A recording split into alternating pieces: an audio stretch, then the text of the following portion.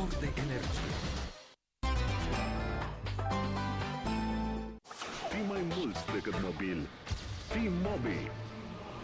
Tastează realitatea.mobi în browserul de net al telefonului tău și ai acces instant la știrile Realitatea Breaking News, video și foto. Citește, comentează și trimite direct prin SMS cele mai noi știri prietenilor tăi. Sau fii martor ocular mobil. Surprinde și transmite realitatea direct prin telefon. Cu realitatea.mobi ai o televiziune și un portal de știri pe telefonul tău. Realitatea.mobi Fii mai mult decât mobil. Fii mobil. Salut! Ăsta este un promo pentru TV și deci trebuie să rețineți doar câteva lucruri. Ce emisiune? După bloguri. La ce oră? 23.30. Când? Duminică. E foarte simplu. După bloguri, duminică la 23.30. Altceva n-aveți de reținut decât după bloguri, duminică la ora 23.30. Cu mine, adică Teo. About blogging, about blogs. About blogging, about blogs.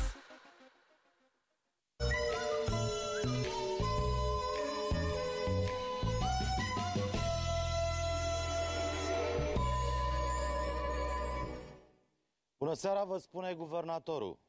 Dacă mai facem o emisiune la TV, nu o facem pentru audiență. O facem să ne distrăm. Deși bun ar fi fost un eveniment cu tremurător la fix, la știri, înainte de emisiune. Pentru audiență, însă ne trebuie dezastre, parastase, elodii, brute în direct, pițipoance în decor, înjurături live, știri cu morți duși cu targa sau cu vii duși cu capul. În această țară, vorba a vestitei femei de cultură venerică, sexy brăileanca, dacă nu spui prostii la TV, nu se uită nimeni la tine. Și cu cât prostiile sunt mai mari și cu cât există bănuiala că ești mai sărit de pe fix decât o gorilă, cu atât riști să apar mai mult pe sticlă. Însă odată ce ai apărut, ești valoare națională, tată.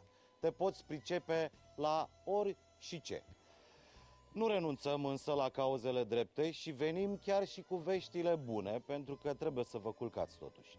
O să vorbim despre ce-o fi bine, ce-o fi rău, despre micii eroi de la bloc, ori din tramvai, o să vedem cine și cum vă și ne mai manipulează zilele astea prin presă și o să vă predăm chiciul corect. Că așa e de bun simț și fiindcă suntem noi de bun gust. România este o țară extremă, off-road, în care orice ți se poate întâmpla în bine și rău. Mai stai sau pleci? Aceasta e întrebarea. Răspunsul astă seară. Văcarul Fane s-a căsătorit cu doctorița. Doctorița e suspectă de ninfomanie. Satul e convins de diagnostic. 90% are nevoie de un mecanism mai special. Viața e suspectă de absurd. Prezentarea tuturor simptomelor în emisiune. Imediat după ora 10, despre guvernarea unui balamuc numit România, cu un invitat garantat 100%. Vreau să sune telefonul! Acum! Mai întâi, încă o dată bună seara și pentru că tot a fost uh, Paștele, trecem repede prin câteva lucruri care tocmai s-au întâmplat. Eu n-am simțit cu tremurul, așa că la ședință am luat o decizie cu tremurătoare. Îl ignorăm. Nu se putea fără un bilanț sumbru de Paști de la Poliția Rutieră. Vinerea Mare, 30 de accidente, adică 28 de răniți și 5 morți. Sâmbăta Mare, 43 de accidente, adică 47 de răniți, 9 morți. Bineînțeles, toate din vina șoferilor, că așa notează polițiștii. În total, 14 morți nu au mai prins învierea. Nu arunc pentru că e decorul nou și... Am aflat câți cai pot fi înhămați la o căruță, dar ne mai rămăsese o dilemă. Câți cai încap pe bancheta din spate a unei mașini? Răspunsul, un cal frumos. Dacă nu au avut bani de un chip tuning care să mărească numărul de cai putere, niște concetățeni au apelat la un very chip tuning. Au înghesuit un cal pe bancheta din spate a mașinii și au obținut, desigur, un cal putoare. Primim de la telespectatori, știți că românii sunt vestiți pentru că sunt poeți și pentru că își bricolează tot timpul Dacia. Așa că nu se putea ca în materie de bricolaj să nu fim campioni, dovadă că ne și premiază toți străinii pe la, uh, pe la uh, tot felul de concursuri. Dacia Agroturism, proiect realizat în comuna Ampoița, județul Alba, fabricat în România. O Dacie nelogan în sfârșit, cu care îți plimbi familia, te duci și la cârciumă și te duci chiar și la muncile câmpului. Auzisem eu că salvarea noastră poate veni de la agroturism, dar nu știam că termenul vine de la autoturism agricol. Cu acest prototip, o minune a tehnicii, după cum observați, domnul Davidaș, are și numărul de telefon pe Dacie, a reușit ce n-a reușit nimeni până acum, nici măcar împăratul Traian, să pună Dacia la muncă. Îl mai știți pe Vanghelie? Vangelionul și vestitele lui greșeli care ne amuză toată ziua? În știrea aia cu Mici și Bera care cântă în deschidere la Depeș Mod, ați auzit ce a întrebat Vanghelie pe ziariști? Ci că cine-i Depeș Mod? Îi era frică să nu-i ocupe parcul în care dădea el de pomană electorală. Păi, uh, uh, domn Premar, Depeș Mod e o trupă care se lansa când terminam eu liceu. Așa, ce vreți să mai știți? Când am terminat eu liceu, o să vă mire, înainte de facultate. Terente, ați auzit de el. Ar trebui băgat în, uh, în brandul național, pentru că e un mit. Ne simțim și noi bine când știm că am avut un om cu dita mai știrea. Așa că o știre de interes național în ziarul Libertatea. Penisul lui Terente a fost înlocuit, evident, cu unul mai mic. Legendara rămășiță pământească a haiducului Terente, conservată în dita mai borcanul de murături, a fost aruncată la gunoi. Ce mai? S-a ales praful și pulberea de mitul nostru național. La propriu, că l-a figurat, va dăinui cu siguranță în folclor. Oricum, păcat că l-au lepădat, putea să-i fie înmânat doamnei ministru Udrea să-i, să-l facă brand turistic de țară. Și acum, pentru că vorbim despre România și pentru că știți foarte bine că suntem obsedați de ea și nu putem să vorbim de altceva, s-au scris milioane de cărți și s-au făcut milioane de talk show-uri, dar astăzi uh, uh, avem o convenție, avem un show talk mai degrabă decât un talk show, fără cravată, lejer, în care există două părți. Și anume două părți combatante. Există într-adevăr în acest studio și doi jurnaliști, dar ei sunt circumscris avocați, ca avocați cauzei pe care o reprezintă. Mai precis, pe de o parte sunt cei care vor să stea în România, așa zisul patriotism romantic, și pe de altă parte suntem cei care vor să plece din România pentru că, nu așa, should I stay or should I go în eterna și fascinanta România. Sindromul ne-am săturat de România bântuie de zeci și zeci de ani de zile, după cum bine știți. Dar vreau să vă prezint ca să știe lumea totuși cu cine stăm de vorba. Uh, Avem o doamnă aici, e Marie Roz Mociorniță. Bună seara, Liviu, și succes în emisiunea ta. Mulțumesc. Trebuie să-mi relansez și eu cariera în seara asta. Uh, O doamnă care a plecat cu părinții Mm. în străinătate și a stat ce a stat acolo și până la urmă s-a uh, stabilit în România în 2001. Cam așa. Este nepoata vestitului Dumitru Mociornița, un om care a fost și el plecat la rândul lui în străinătate și a început cu două hectare uh, cumpărate unde și-a construit o fabrică de pielării. Pe partea cealaltă, deci adversarii noștri din seara asta, cei care vor să Dușmanii. le putrezească oasele în România, este Alexandru Hausvater, care a plecat și el din România, dacă nu mă înșel, tot cu părinții, în 1957, 9. 9, și a lucrat, bineînțeles să știți pe Alexandru Hausvater, e un regizor bine cunoscut care face săli pline și căruia îi place la nebunie în România. Celălalt, să zicem avocatul, care va pleda pentru a rămâne aici în balamucul nostru, este un jurnalist de succes, un om care e atât de, uh, uh, un, cum să zic, e atât de celebru, încât uh, săptămâna viitoare va apărea chiar și în suplimentul Academiei Cațaven cu, cu cei mai sexy ziariști. M-am scos. E trebuia să normal. Spun, eu sunt Turcescu care a rămas cu părinții în România. Tu ai rămas cu Eu am părinții rămas cu români. părinții în România, da. De bine, erai și prea mic în 59. Putea să mă Acum ia trebuie mama să la un spun. moment dat Era într-o născut. sacoșă. Dacă... Da. Uh,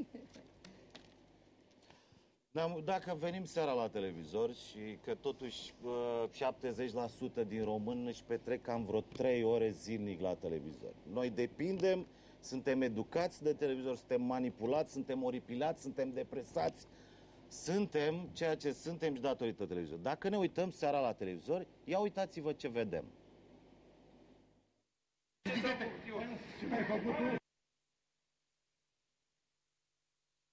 Ce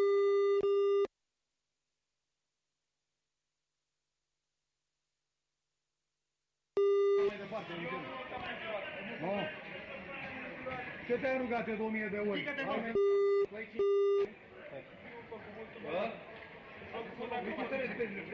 Știi ce spune aveta până acum? Prostule, ca să nu pot să zic. Prostule! Ce faci? Gata, mă, plecați de aici. News-ul întotdeauna e cu sânge, e cu morbiditate, este cu violență, e cu mărlănie, e cu mitocănie. Asta vedem la televizor pentru că, în cele din urmă, asta se întâmplă în România.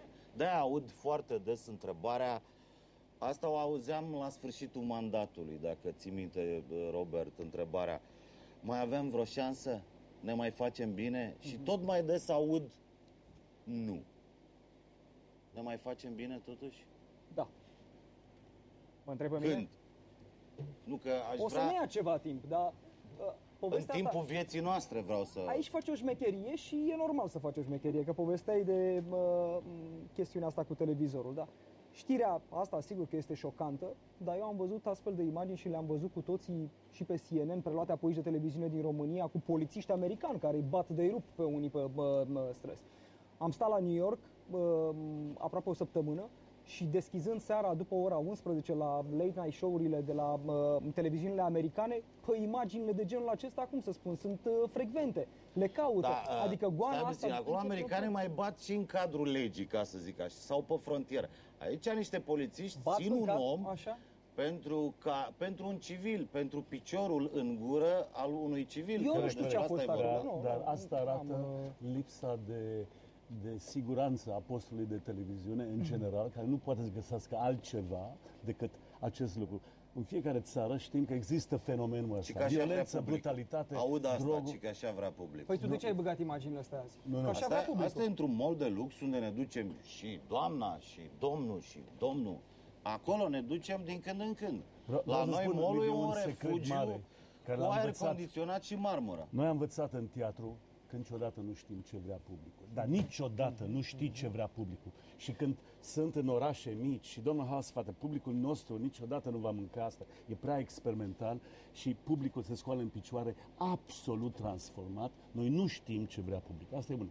Doi, noi nu știm cum să ne uităm în altă direcție, să vedem alte modele, nu le căutăm, modelele la care există, există, există și talent, există și frumusețe, dar avem impresia că nu se vinde.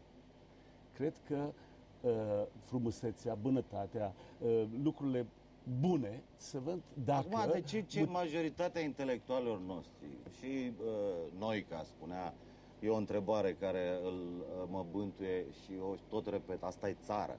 Haideți să vedem ce spunea cel mai popular filozof al românilor în anii 90, un om care a făcut 13 ani de închisoare și care trăgea o concluzie tristă, îl știți cu toții, e Petrețuțea, haideți să-l auzim. ale meritul de a fi pus pe tronul Moldovei pe cel mai mare voievod român, pe Ștefan cel Mare, cu armele. El are meritul că l-a și bătut brațele și are meritul ca coborât morală absolută prin uh, țepele puse în cult la nivel absolut cotidian. Dormeai cu funga de aur la cap și se aplică să nu o purtută la tine. Ăsta e voievodul român absolut. Dom'le, fără să istoria românilor e o pajiște cum ei. Până la urmă, Petrețuțea uh, vorbea despre faptul că uh, suntem uh, totuși niște oameni care dormim cu propria pungă la cap și uh, ne sculăm înfricoșați de faptul că s-ar putea să ne fi furat singuri. Sau suntem doctori care intrăm în sala de operație și pentru că nu funcționăm altfel, ne băgăm singuri cât un plic cu bani în buzunar. Adică, totuși, o să vedem, o să mai avem totuși opinii și fapte pe care le vedeți și pe acest ecran despre această țară în care voi vreți să stați, pentru că sunteți niște uh, oameni de succes și poate aici v-ați găsit împlinirea, dar noi, cetățenii, ăștia normali, care vrem să trăim decent și să ne creștem copiii la o școală normală și așa mai departe, am vrea să plecăm. Dar plecați, om. Dar două secunde. De ce nu plecați? Crezi că oamenii, Păi da. pleacă din, crezi că oamenii pleacă din cauza situației în țara asta? Da, A, nu, greșești total. Nu, aici... A, a, despre situația asta a, sună așa. Aici sunt fapte. Aici vorbim despre fapte, Corect. aici nu vorbim despre impresii. Ok. Și la fapte pot să vă citesc un, uh, hai să zicem, un listoi care este plin de dezastre. Și anume, suntem pe primele locuri în Europa la mai toate bolile. Sifilis, tuberculoză, coronariene, mortalitate spitalicească, infantilă. Venim tare Stai și la puțin, păi, nu, dacă obezitate. Tu Hai le să arunci pe toate acum, le pui pe, pe tabă. Păi trebuie să le Păi, enumăr. Eu știu, le știm foarte bine. Dar eu te întreb de unde le-ai luat. Le-ai Sunt luat din- statistici. statistici odată și doi, că am văzut la un moment dat mi-a trimis uh, colaboratoarea ta și mie desfășurătorul emisiunii cu documentarea emisiunii și în chestiunea respectivă erau foarte multe fapte de presă. E relatate de presă de-a lungul uh, anilor. Trebuie să spunem un lucru foarte clar pentru Neapărat. telespectatori. Că Neapărat. un jurnalist este educat profesional pe următoarea chestiune. O știre bună e o știre care vorbește despre lucruri rele. Nu, da, eu, E- eu aici vorbesc de faptul că noi trăim într-o țară uh, în care suntem pe ultimul loc la consumul de detergent, pastă de dinți. România săpun. este o țară Locuim în, în- în cea stare mai de murdară proiect. țară România din Europa, este o țară în în cea stare de mai proiect. poluată capitală. Da. Dar România e o țară în românii nu stare se de spală, proiect în în schimb acest moment. beau de rup pământul. Adică, scuză-mă, toate lucrurile astea se întâmplă și din cauza. Iar aceste statistici sunt ale Institutului de Sănătate Publică. Nu sunt fapte de presă, uh, hai să spunem, orientate pentru consumul de presă și rating. Aș- Mari Roz. Cât apuc și eu acum, între Te trei rog. bărbați. Aș vrea să dau în spate puțin, în marșalier, discuția noastră, să mă întorc la posturile de televiziune. De acord, sunt și în străinătate posturi chici, dar mă gândesc de ce în Anglia, în Canada, în Germania sunt 4-5 posturi și la noi în România sunt 19 posturi care difuzează această contaminare a psihicului, pentru că sunt foarte mulți oameni care nu au uh, nu au avut șansa să găsească modele pozitive. Au trăit într-un, într-un tunel întunecat, unde două picioare de pui era o sărbătoare națională. Discuția mea, să spun așa, nu este o insultă vis-a-vis de oamenii din România Afară care... ne găsești beți pe stradă la Nu, 7 dimineața. dar o de secundă. exemplu. Nu? Deci, stai, stai. Nu? Lasă-mă A, să termin. fost la Poate în Londra în weekend. urmă cu câteva uh, uh, Nu, vreme stai puțin, în stai Am fost la Londra acum trei zile. Acum trei zile Erau, la Londra, erau o stradă. rangă, Corect. erau corect. zop de beți, Corect. zop, cu paharele Da. în mână. Asta e uh, altă peste tot. discuție. Nu, E despre altă, ce e discutăm? o altă Să fim formă Dar de... nu în toată țara. Londra e Bine, dar stai Londra. puțin, dar- E un centru mondial. Londra nu Acolo este o- vine lumea să se și distreze. Marea Britanie nu Dar- este o țară care să aibă... Da, Marea Britanie are autostrăzi, Marea Britanie are spitale, Marea Britanie are școli, Marea Britanie Și are Marea o, o Britanie- justiție Uh, vreau- independentă. Vreau să Un vă imperiu spun- a fost Nu un imperiu cumpăra și doi este în bețivi, momentul de față pentru că o- sunt alcoolici Da, iartă-mă amândoi. două secunde. Asta- Alexandru, Vreau te să, rog. vreau să vă spun că uh, sunt un student al istoriei imigrației în general.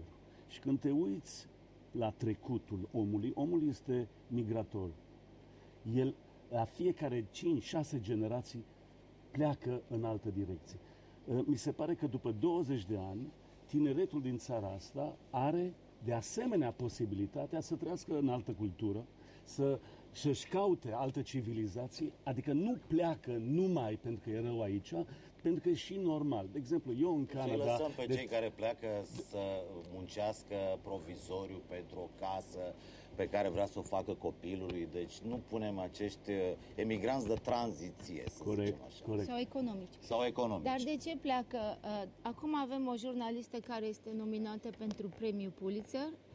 Uh, Avem uh, doi, doi care au luat uh, prim, premiul Nobel. Toți românii care sunt în, în state, la Harvard sau la Cambridge, sunt, sunt cercetători, sunt medici, sunt chimiști, nu sunt nici uh, vânzători de roți, nu sunt nici uh, speculanți financiari, sunt creiere, Asta pleacă este, asta creiere. e o De ce? greșeală monumentală uh, făcută, transferată de minciuna românească a imigrației. Uh, la Montreal, Dar acum nu e o câteva, minciună, în acum realitate, câteva luni, economia la, stă la pe Montreal, banii vă spun, și imigrației asta ar trebui să foarte- spunem tuturor tinerilor care vor să pleacă, uh, uh, un prieten care lucrează în poliție, unul din mari șefi al poliției din Quebec, a spus că comunitatea română e cea mai sus în a primi welfare, în a primi Ajutoare, asistență socială. Oamenii ăia nu comunică în România că sunt un eșec total, absolut total și dau impresia că, într-adevăr, trăiesc mai bine ca în România.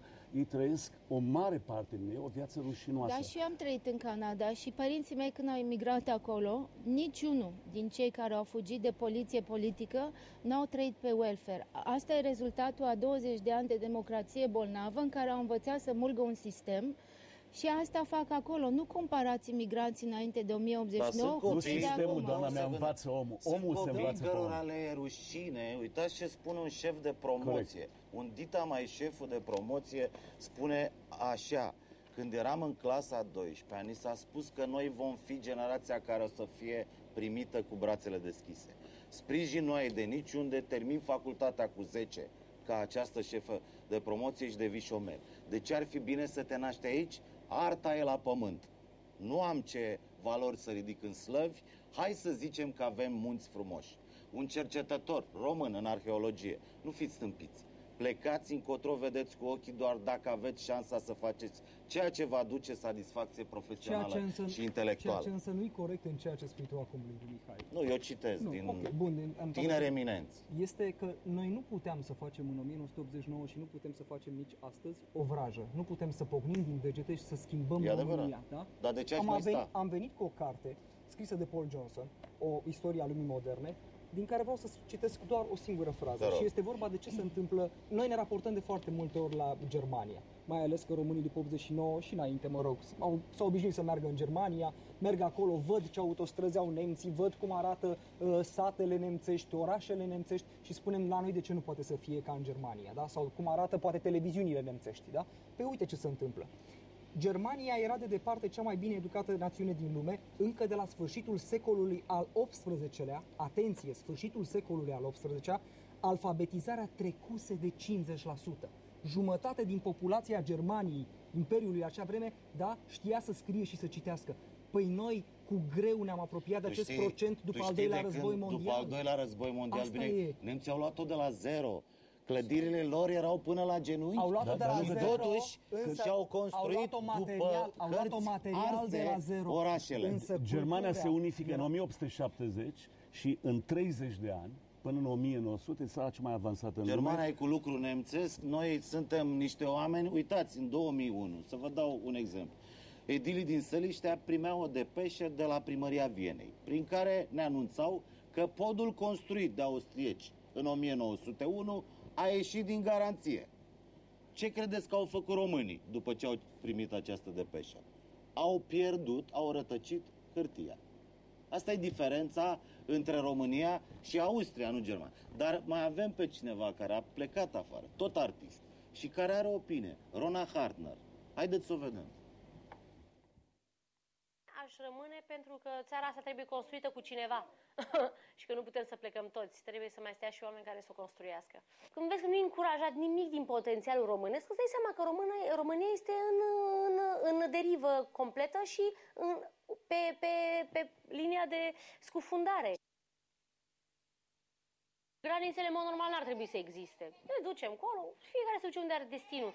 Dar nu trebuie sacrificată familia, copiii nu trebuie sacrificați.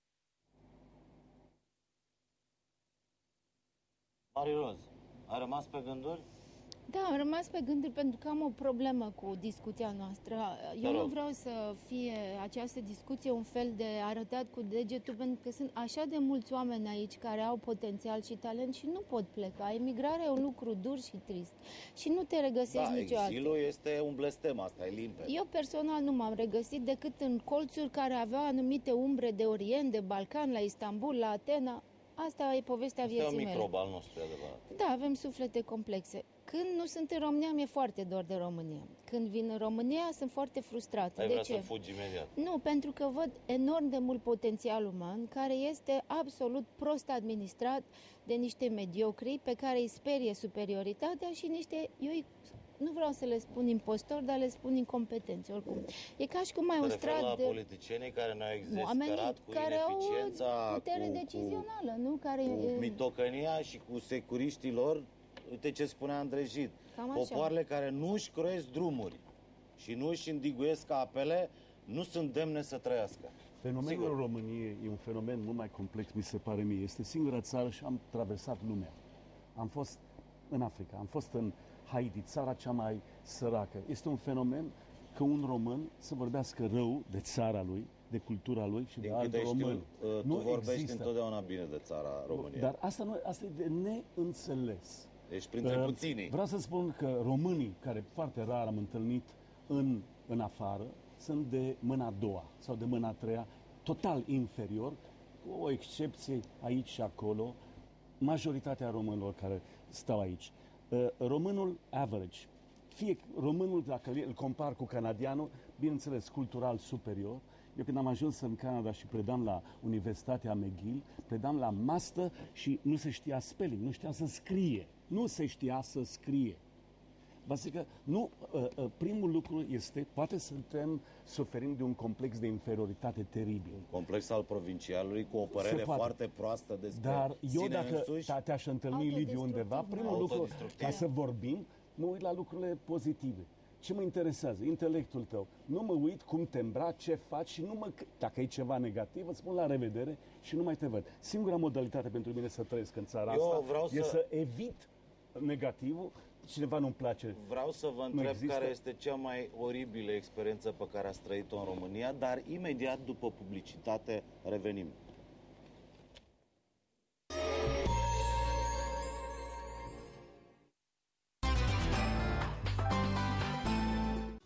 Vezi? E sigilată, da? Și de unde știi tu cât îți vine? N-ai tu treabă, știu eu. Nu-ți iau. N-ai cum. Facem așa. Dacă știu, faci 10 flotări cu mine în spate aici în magazin. Dacă nu, fac eu. Ești îngrijorat că nu știi cât plătești?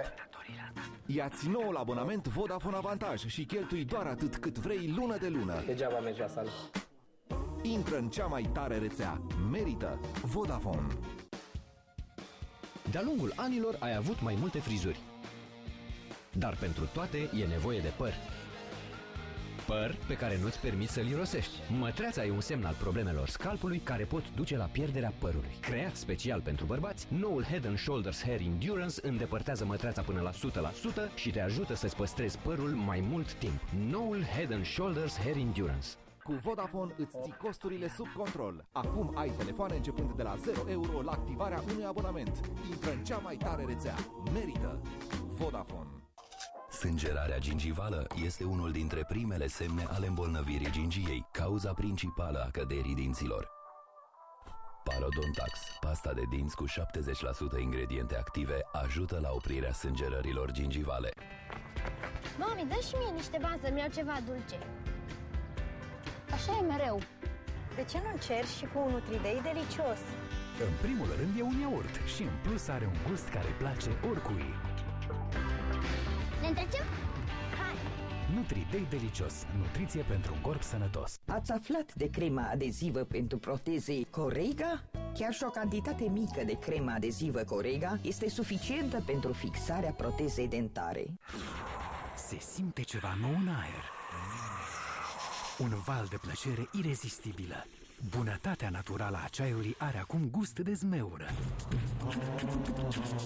Noul Lipton Ice Tea cu zmeură. Surprinzător de savuros și perfect răcoritor. Știai că mare parte din calciu se irosește fără suficientă vitamina D și nu mai ajunge în oase? Fără suficientă vitamina D în organism, mare parte din calciu se irosește. Comparativ cu alte lactate, Danonino conține și calciu și vitamina D. De aceea îi dau copilului meu Danonino în fiecare zi. Iar acum, cu noi magneți Danonino, îl ajut să construiască cel mai lung tren din lume. Copilul tău crește sănătos și învață să socotească. Știm că îți iubești casa, atunci ai grijă de ea. Generali Asigurări îți face o super ofertă la asigurarea completă a locuinței. 20% reducere. Află mai multe acum.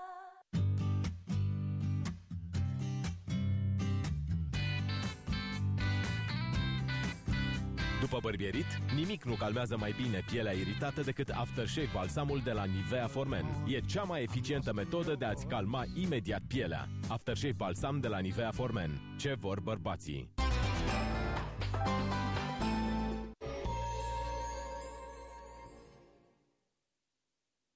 Am rămas aici pentru business, dar în același timp am rămas pentru alte motive. Motivele personale. Când am învățat franceză a fost foarte simplu. Regulile sunt așa, foarte fix, în engleză la fel, dar în română este caracteristic, este tipic român. Este tipic român. Faptul există o excepție în fiecare zi. Ar fi bine să face a, a, amândouă. De ce?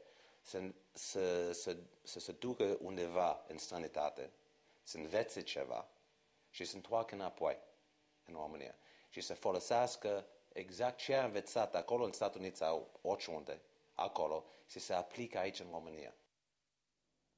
Cum spunea și Radu Florescu, un uh, român de origine, un american de origine română, uh, asta este țara tuturor uh, excepțiilor.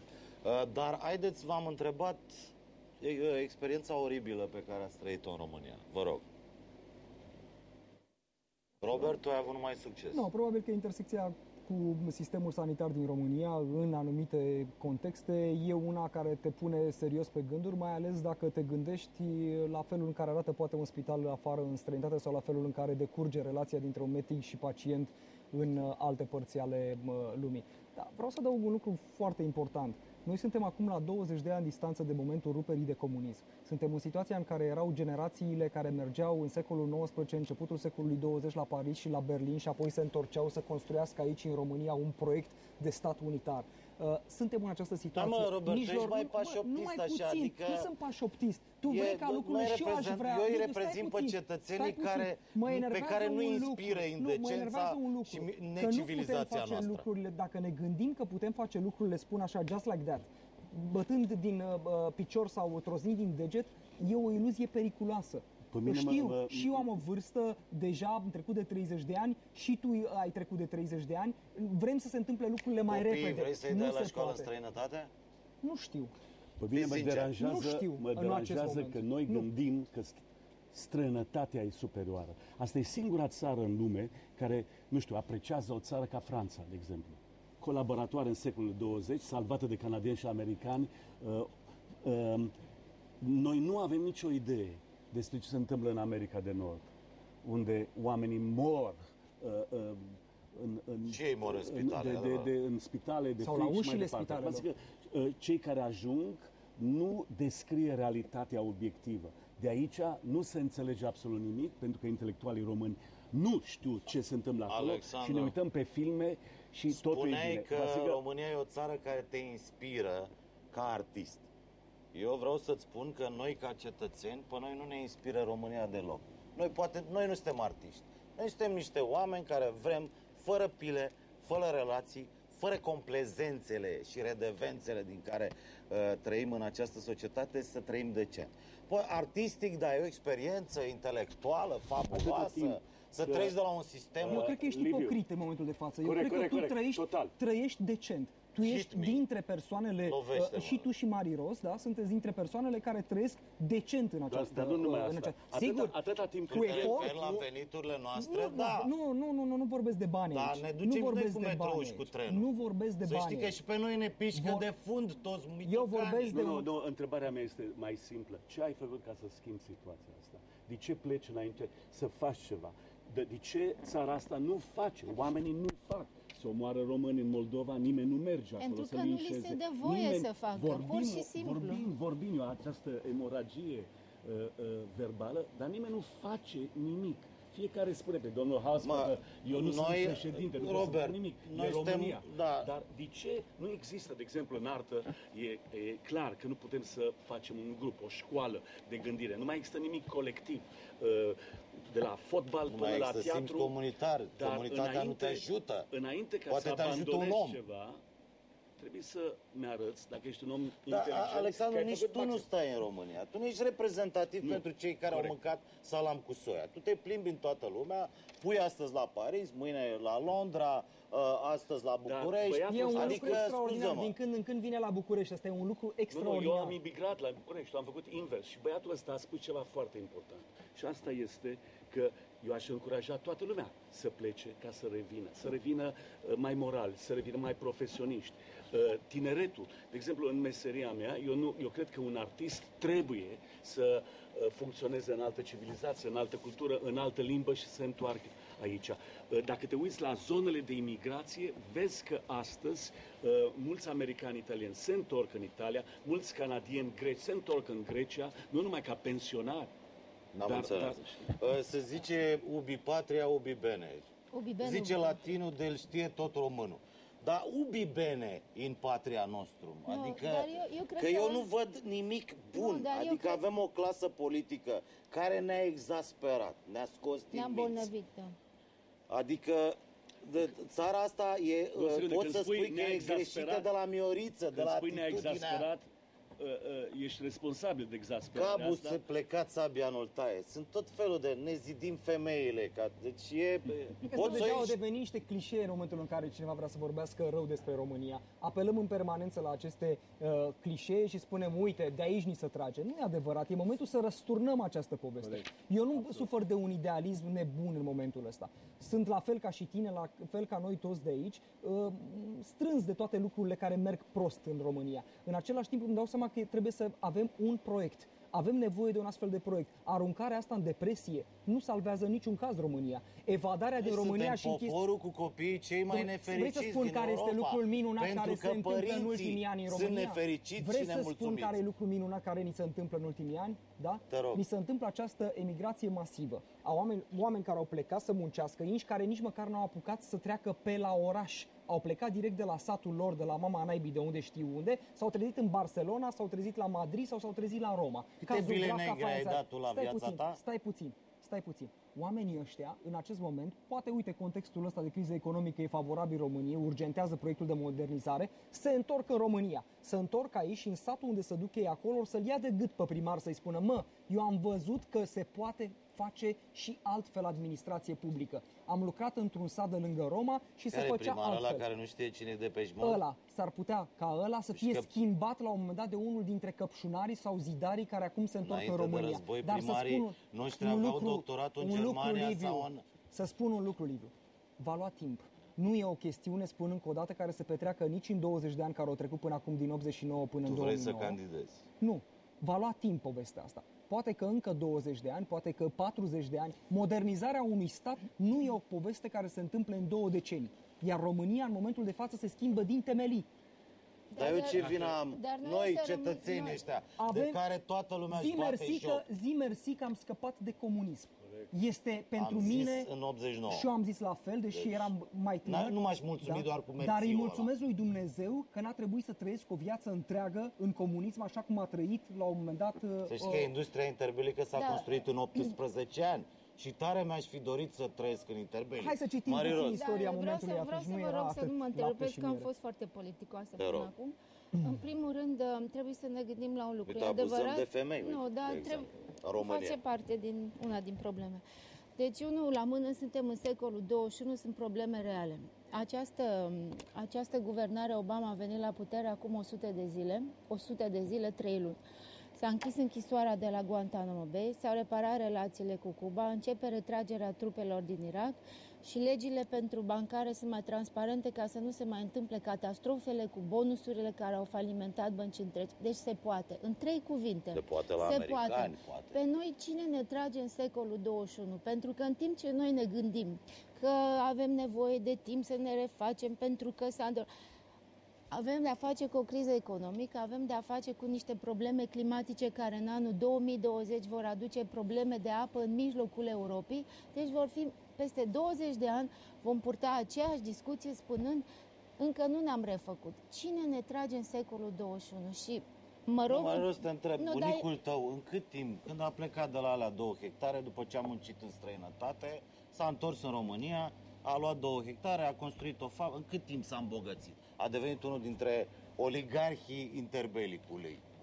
Vreo 25 de ani. 25 de ani. Norocul pe care l-a avut România cu Carol I s-ar putea, sigur, nu vreau să fac o comparație bizară în acest moment, să fie cel pe care îl are România în acest moment intrând în anul 2007 în Uniunea Europeană. Noi nu, dacă, nu cred că ne mai... Știi ce au zis ziariștii Nu cred că o să mai avem Că am atât... intrat cu 100 de ani mai devreme în Europa. Se poate. Presa Dar s-ar putea- germană. Domnule, ei o spun ziariștii nemți, eu spun că pentru noi e un noroc. Noi nu mai avem un Carol I. Nici cu Traian Băsescu, nici cu Năstase dacă ajungea președinte, nici cu cel care va veni după Băsescu. Nu o să avem o locomotivă L-avem care să pe ne Duda. tragă în 21. Străinii, L-avem străinii pe vor Duda, continua să aibă o imagine teribilă despre România, deoarece în toate consulatele românești care am fost în Canada, în toate orașele, în America, consulul are uh, dinți de aur, uh, nu vorbește bine limba, uh, uh, se organizează să capete șpagă, vă zic că asta este Și în general imaginea. e securist. Atâta Da, timp bine, că că suntem nu se... hoști, voi voiește toată Europa. Vreau să spun că am, când am auzit un englez, un dita mai englez, deci nu era un barman beat de la Londra, pe care tocmai a vizitat-o Alexandru Haus- Hausvater. Când am auzit spunând un banc despre români, am roșit, mi-a fost rușine. Știți cum se prepară omleta românească? Se fură două ouă, uite, Alexandru știe, și se face omletă. Pe mine mă Deci inter- deja bancul ăsta circulă în toată lumea despre noi. Da, Nu dar e pe mine nou. mă- două L-am secunde. auzit Pe despre mine mă albanezi în interesează urmă cu reacția niște ta. ani. În loc să îl iei pe ăla de gât, te-ai rușinat. Pe mărlanul ăla de englez trebuia să zis reacționezi. un banc, să... de ce nu, nu, acum? nu, nu se face bancuri când ești român de față. Nu permiți. Nu permiți. Mai de sunt ce? încă 100 de bancuri, Bancurile, Alexandru, bancurile pe care alea- ni le spunem bancurile noi. extraordinare evreiești, la Woody Allen, Îl știți îți pe bat ăla joc cu de ăla două tine bile întâi. care una s-a, apropo de Robert Turcescu, una s-a stricat și una s-a furat? Da. Românul care intră în închisoare, germanul, neamțul, americanul, li se dau fiecăruia dintre ei câte două bile, unul inventează ruleta, altul inventează rulmentul și când ajunge la român, românul zice, una nu le mai am, una s-a stricat și una s-a furat. E un banc foarte frumos, e adevărat, foarte ingenios, e un banc filozofic, dar este un banc despre noi și neisprăvnicia și neputința noastră. De, eu asta, mă, la, cineva la, te, eh, la televiziune mă întreba, un politician, mă întreba, ne mai facem bine oare? Și totuși, amănuntele răstoarnă lumea. Pentru că, haideți să vă arăt, m-am dus pe stradă. Și nu pe orice stradă, ci pe strada pe unde vin toate delegațiile lumii acestea în București. Haideți să vedeți ce am găsit așa, la nivel terestru, la, la firul ierbii. Vă rog reportajul. Sectorul 1, secolul 21, undeva în UE. Mâine sau poimâine s-ar putea să ne dea afară din Europa și credeți-mă, nu suntem pregătiți pentru așa ceva. Cum mai scoatem o domniță în oraș la o bere pe o astfel de bordură? Cum? Cum o să mai putem legaliza prostituția pe un astfel de fundament găunos?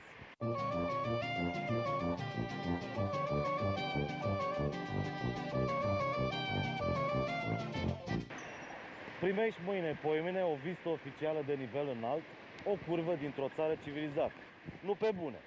Asta este o chestiune de siguranță națională rutieră. O asemenea bordură este foarte riscant să o transporti, dar aminte să te așezi pe ea cu cineva drag.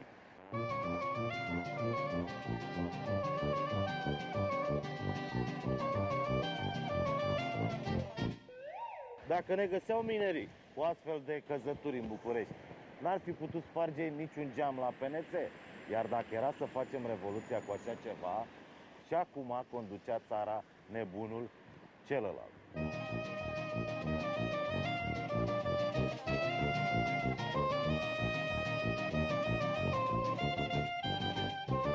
Uitați-vă și voi la monarhista asta. Au înlocuit frumusețe de granit cu mehlemul, cu terciu, cu piftia asta. Întrebarea care se pune, este cumva pentru noi sau pentru altcineva?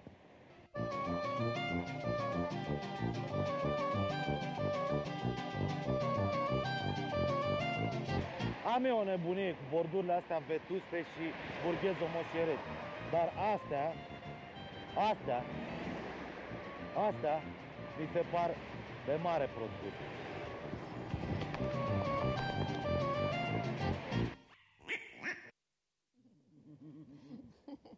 Da.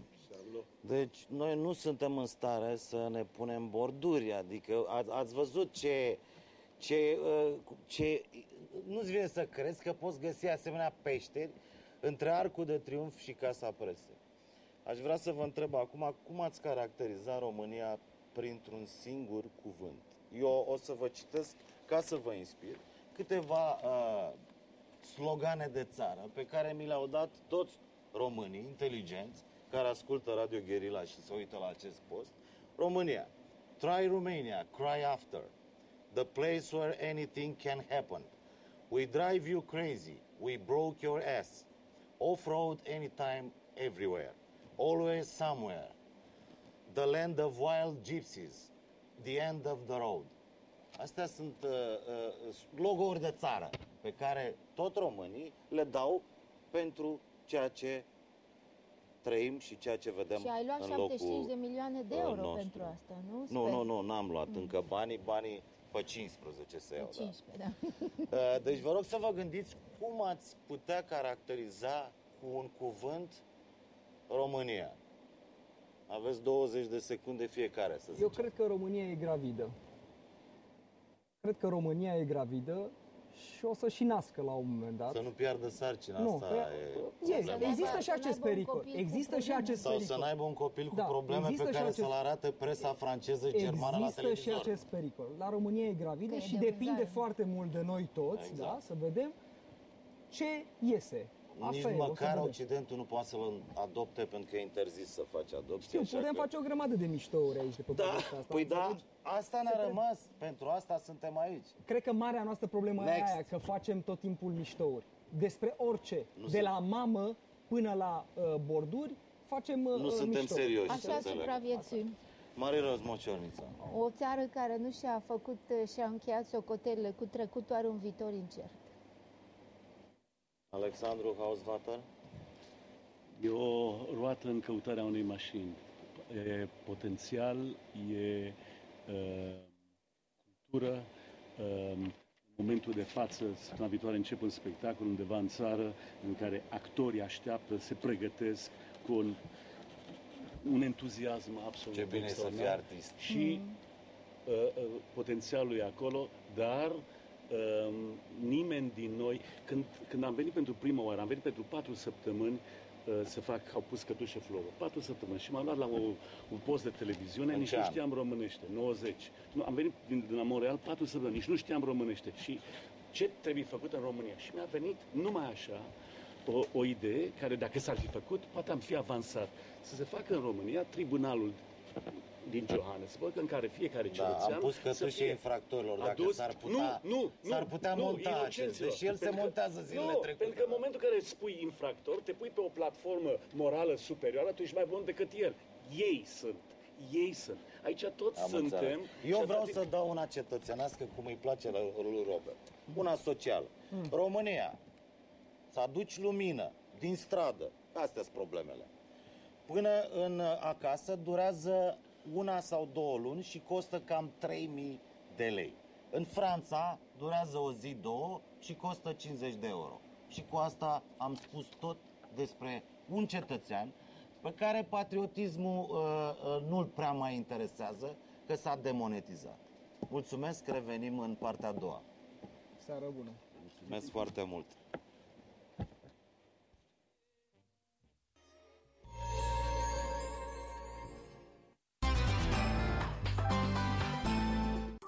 Dinții tăi protejați după periajul dentar? Până la primul suc, prânz Gustarea de după amiază? Sfârșitul zilei? Da, cu Colgate Total. E dovedit clinic că protejează împotriva bacteriilor de dimineața până seara. Noul Colgate Total cu formulă îmbunătățită. Protecție antibacteriană în timp de 12 ore. Colgate, marca cea mai recomandată și utilizată de medicii dentiști. Chi può fermare il fiume che corre verso il mare? Le rondini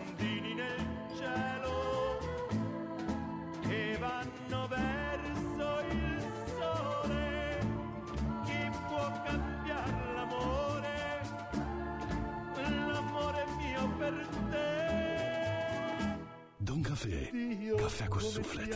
Premieră în România. Descoperă noul telefon dual SIM și bucură-te de două telefoane într-unul singur. Cu cameră foto de 1,3 megapixel și slot card memorie de maxim 8 GB, Samsung G5212 poate fi al tău începând cu un leu la abonamentele Cosmote Full Option. Vino în magazinele Cosmote și ale partenerilor. Cosmote, alături de tine. Noi credem că nu există oameni mari și oameni mici. Există oameni mari și oameni mari. Cei care ajung cunoscuți și cei care îi susțin în felul lor. De aceea, de 10 ani, noi te susținem. Pentru că orice faci este important. BRD Grup Societe General. Tot mai simplu. Indiferent de vârstă, marcă sau model, transformă performanța mașinii tale. Vă prezentăm noua gamă de uleiuri de motor sintetice Mobil One. Un tip de ulei pentru mașinile vechi, unul pentru cele de vârstă mijlocie și unul pentru cele noi. Fiecare dintre ele conceput pentru a asigura protecție maximă motorului și o performanță îmbunătățită. Redefinește experiența șofatului. Pentru orice vârstă, pentru orice kilometraj, cea mai bună performanță. Mobil One. În evenimentul zilei citești povești care te interesează. Află din ziarul de mâine. Moștenitorul secret al lui Ceaușescu. L-am găsit și vi-l prezentăm pe cel mai misterios membru al clanului Ceaușescu, care stă ascuns de 20 de ani. Evenimentul zilei îți face cunoștință cu eroii momentului. Evenimentul zilei pentru cei care contează.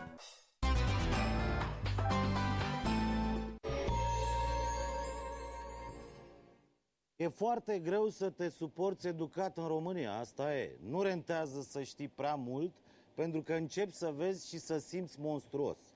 Ca să trăiești în România, nu trebuie să ai doar nervii de oțel, stomacul tare și ochelari puternici sau clești de nas. S-o fi născut românul poet și priceput, mioritic, nu zic nu, dar era mai sănătos să se fi născut gospodar, designer sau măcar un băiat harnic, că parcă prea multe chiciuri și prea mulți mitocan tralala sunt în tot și în toate. Se mai întreabă cineva despre, tot, despre ce tot vorbim? Hai că ați priceput. Faianța neagră de pe pereții monumentelor, țiganca împuțită redusă la rang de politică de stat, impostori cu morgă, înmormântări de trei zile în direct la TV, mai vreți? Politicieni analfabeți, pițipoance care ne dau sfaturi dezbrăcate, îmbrâncel cu chipuri de divertisment, parveniți cu plată și nebuni cu acte în regulă de făcut rating. Iar noi, ca niște bine crescuți ce suntem, o să-i arătăm cu vorba că cu degetul e de prost gust. Eu, fiind dobrogean, am adus în studio un ardelean, că poate nu văd eu bine și poate sunt eu ciufut. Așa ca să fie reprezentativitate în studio, să fim cât mai mulți români. Cătălin. Salut. Astea sunt lucruri despre care noi vorbim mai degrabă la o cafea, acasă, dăm cu basca de pământ când ajungem. Da. Ne punem problema, băi, dar cât mai e de suportat? Și când ieșim din nou afară, vedem ororile care ne înconjoară. Corect. Orori aici nu vorbim de războaie în care mor milioane. Sigur, sunt lucruri mai grave pe lumea asta decât să vezi chiciurile dintr-o biserică. Dar totuși, vine o zi în viața unui om, când te duci și tu să te închini, ca o babă, ce o să devenim. Și când colo, ce găsești? Dacă vrei să devii babă tu, eu vreau să devii moș. Dar găsești următoarea chestie. Unul dintre lucrurile mult mai rele decât faptul că sunt termopane la biserici și că butoaiele de plastic cu robinet murdar la capăt de unde curge apă sfințită sunt sinistre, un lucru mai nasol e, îmi cer scuze de la toată lumea de bun simț când spun lucrul ăsta, e că uneori duminica, atunci când te duci la biserică, în biserică pute. Asta e foarte rău. Da, În nu mod pute normal- din cauza bisericii. Nu, pute din cauza oamenilor, din enoriașilor, cauza enoriașilor. Da, asta e. Exact. Tocmai spuneam în în talk show de mai devreme că suntem țara care ne spălăm cel mai puțin. E sinistru lucrul ăsta. Miroase în biserică exact cum miroase în autobuz și lucrul ăsta mi se pare absolut groaznic. Cu totul și Da. cu totul groaznic. Am înțeles. Haideți să vedem câteva imagini despre uh, locuri în care ne rugăm, despre locuri pe care le-am vrea să arate altfel, Mm. Doamne iartă-mă. Dolce Gabbana Armani Versace Oamenii își mută obsesiile lor domestice de confort ăsta, de sufragerie de bloc și în uh, arhitectura religioasă. Există cruce și cu cântare, nu numai cu, cu neoane. Cred că lucrurile de cult ar trebui să aibă o decență mai... ceva mai uh, uh, potrivită cu, cu starea pe care trebuie să o ai acolo. Um, termopane, uh, neoane, uh, alarme, aere condiționate.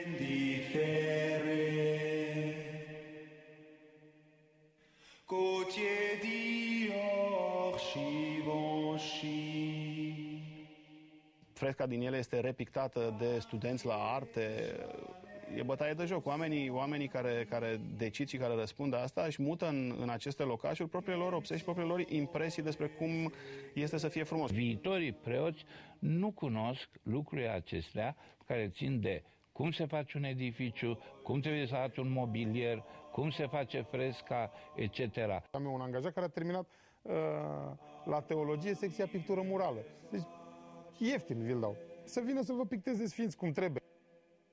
Cuci fioruci fendifere Eu am văzut în uh, frescă în casă la un gigel de ăsta contemporan, bogățel, care și-a pictat niște putii de ăștia dolofane, așa, grăsuți frumoși, care urcau s- suflând în, în, în trompete, așa, și bă, se închina cu, cu un Iisus Hristos care era cu capul, uh, bă, cu capul proprietarului casei. Trebuia ca să viu de acasă ca să spun că e o porcărie. Cum îl știm noi pe Morega, așa, ia? Facem sfinți de ăștia. Noi. Dolce Gabbana Armani Versace Cred că mai degrabă se, se cheamă biserchici decât biserici, pentru că au reușit să porcească complet uh, imaginea pe care bă, credinciosul are despre lăcașul de cult. Chiciopteria asta în care sunt făcute le îndepărtează de scop. Cred că e greu ca oamenii să se reculeagă acolo, să se simtă umili și bă, ă, sfioși față de Dumnezeu în, în mediul ăla. În psalm spune așa, gustați că bun e Domnul. Eu când gust de asta, lăcașul fiind al Domnului, aflu că Domnul nu este bun. Și asta este lucru, este lucru grav. Da, acum, dincolo să... bă, Tu ai observat, totuși, n-aș vrea acum, chiar dacă par să fiu vulgar, Hai că totuși asta e tare cu- și cu noi, indicația. noi, noi, îngerii, eram complexați că uh, nu avem atât de mare pe cât a diavolului, dacă se vede în imagine. și când colo, iată că în freșcele noastre românești, noi suntem chiar mai bine dotați decât uh, uh, diavolul. Decât talpa iadului, ca să zic așa. Mă rog. Da, uh, nu nu mă apuc să intru în filozofie aici, dar cred că e o urmare directă a faptului că omul la ora asta e, crede că e mai bun decât Isus, prin urmare, cu siguranță e mai dotat și decât diavolul. Uh, La toată povestea asta cu bisericile, cred că se potrivește explicația care se potrivește și în rest. E ce se întâmplă cu cetățenii acestei patrii. Numai că partea bună, dacă vrei, e că nu numai cu cetățenii acestei patrii se întâmplă lucrurile astea. În ceea ce privește biserica, ofensiva cetățeanului care îl călărește pe Isus se întâmplă peste tot, nu numai în România. Deci cu găsim- prostul gust e altă mâncare de pește. Asta De deja e prost cu gust totul, vorbim asta e aici. deja e cu Pentru totul. că așa cu se totul numește altceva. rubrica noastră. Asta e cu totul și cu totul altceva, da. Vreau să spun doar două vorbe despre treaba asta. Vreau să și scriu săptămâna viitoare la 24 fan despre povestea asta cu chiciul la biserică și nu numai la biserică. Sunt absolut evidente, și asta spune toată lumea, efectele mutării, să nu se supere iar nimeni pe mine, țăranilor la oraș.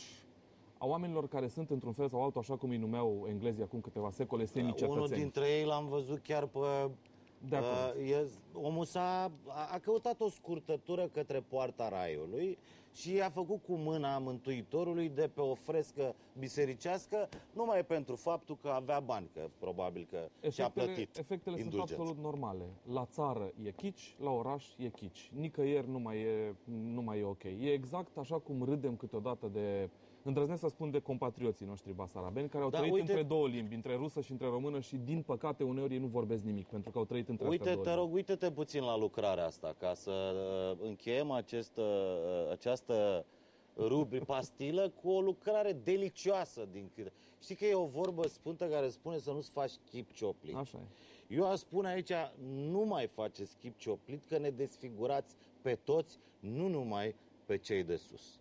Eu iar nu vreau să supăr pe nimeni, dar toate grupurile astea uh, pătrunse de elita din care fac parte, mari arhitecți care se vehiculează la televizor de dimineață până seara, prin revistele de specialitate, prin cercurile astea cu morgă substanțială, unde de cele mai multe ori nu mai încăpem de elită, cred că oamenii ăștia, în primul rând, ar trebui să facă ceva, pentru că, uite-te în jur cum arată Să-i țara bată asta. pe pictorii Cum de arată biserici, clădirile astea. Nu, frate, dar nu se pot da aprobările astea oricum. Astea de Ba, se construcție. pot. Iar de la patriarhie, cred că la fel, la patriarhie ar trebui să fie cineva care să fie extrem de preocupat de Patriarhia felul în chiar care, are și o în mică, care se petrece spectacolul Are și religios. o mică secție de afaceri interne. Ar fi bine să-i aducă din când în când pe meșteri ăștia și să le dea o corecție, pentru că așa ceva este sinistru. Dar haideți să vedem acum, dacă am văzut un chici uh, religios, haideți să vedem un cocalar de trafic, dar să zicem secția boli nervoase, nu orice cocalar de trafic. Ia. Știi campania Radio Cum să Guerilla, nu, sigur că- Atlasul de mitocănie urbană. Haideți să vedem cum a ajuns Constanța s-a transformat în Bonanza. Ia.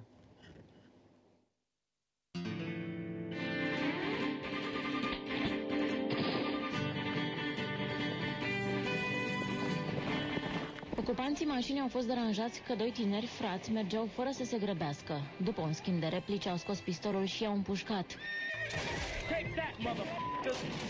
Au coborât apoi din mașină și i-au alergat pe cei doi pietoni. În cele din urmă, agresorii s-au făcut nevăzuți. Prima împușcătură a fost exact lângă semn acolo. Sons of bitches. I-a tras în față la un metru, i-a pus pistolul și a tras în față aici, la ochi. Deci e clar, suntem pe drumul cel bun. Constanța redevine ce a fost odată orașul cosmopolit și dezinhibat al României. Funky Town. Cândva noul era adus de turiștii străini, marinarii și rudele fugite ale naționalităților din acest melting pot. Meltenii pot astăzi mai mult, iar Constanța are o șansă în plus. Are un primar deschis la tot ce nou.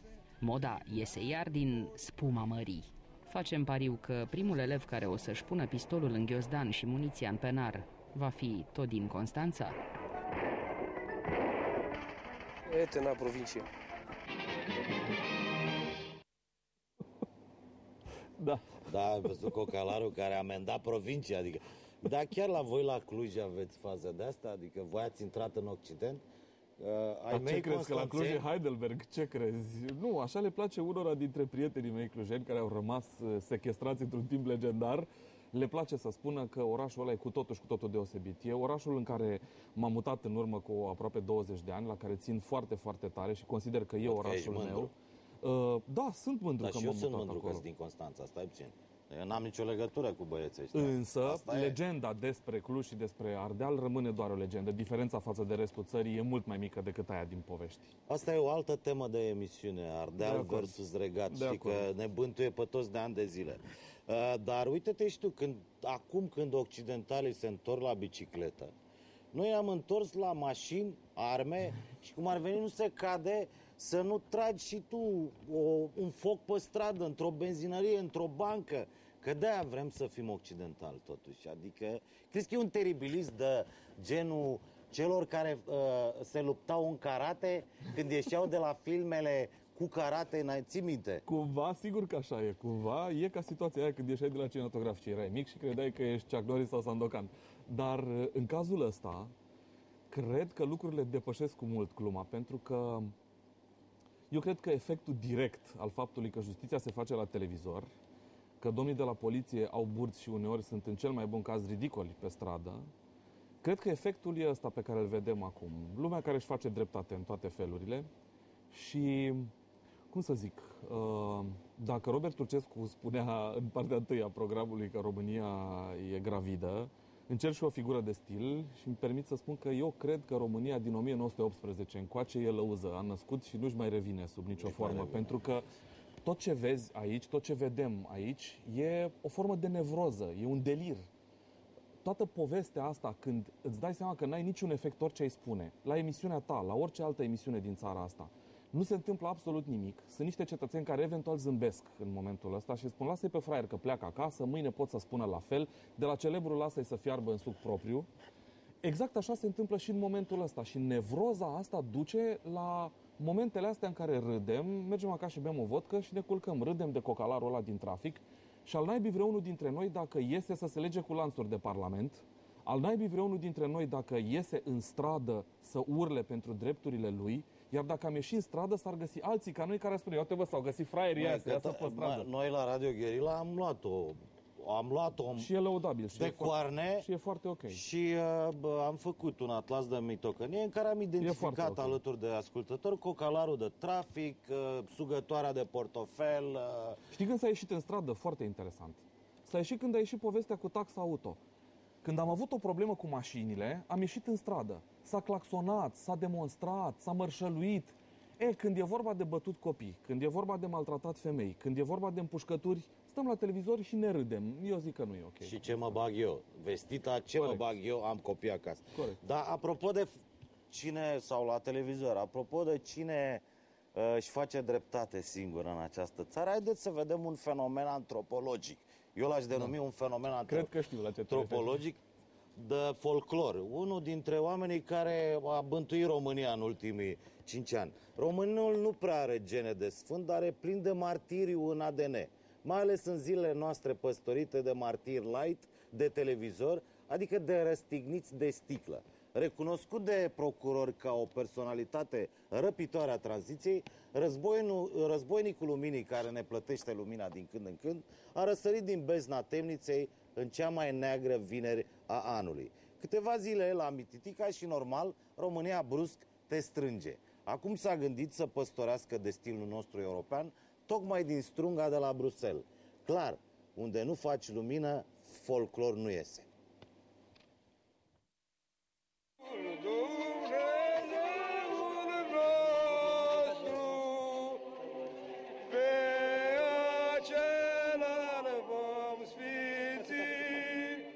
Baciu Procurean și cel magistrean mării se vorbiră și se sfătuiră ca în ajun de pască să-l slobozească pe cel becalian. Begali! Begali! Să-l slobozească pe becalian că-i mai grobian și are oi mai multe relații cornute, pe mașina sa strălucește o stea, gura nu-i mai tace. Mi se rupe de DNA, că așa este. Deci nimeni, zero. Pe Becali nu poate orice dobitoc să-l imite, pentru că trebuie să fie născut, să aibă talentul să poată să imite pe Becali. N-are cum. Gura tot nu-i tace, verzișorii place, crucile-și tot face. Stăpânie, stăpânie, în sat fără câine.